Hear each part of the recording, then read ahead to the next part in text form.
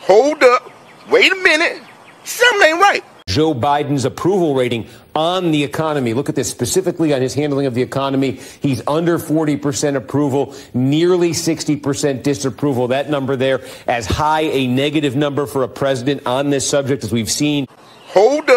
In the, a poll like this, a, our poll, this close to the midterm. So that certainly can't be helping Democrats either. And then there's this. This is about enthusiasm for the midterm election. Now, two things to point out here. Number one, the overall number. All voters, seven out of 10 voters put themselves basically at the highest level of interest when it comes to the midterm election. That spells extremely, potentially record settingly high turnout. We've never seen a number among all voters that high at this point in a midterm campaign in our poll. But it's not evenly distributed between the parties. There's a gap here. Among Republicans, it's almost 8 out of 10 who give themselves the highest level of interest. Among Democrats, it's about 7 out of 10. Something